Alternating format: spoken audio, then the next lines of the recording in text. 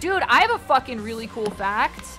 I have a cool fact. Did you know if you took every single nerve in your body and laid them uh like like so that the end is like touching the other end like in a straight line, you would die? Big brains. Big brain. Big brain!